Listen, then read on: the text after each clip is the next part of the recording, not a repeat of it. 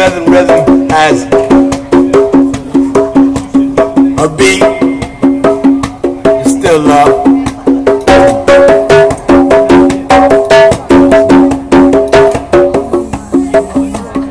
When they're close together, breath to breath, heart to heart.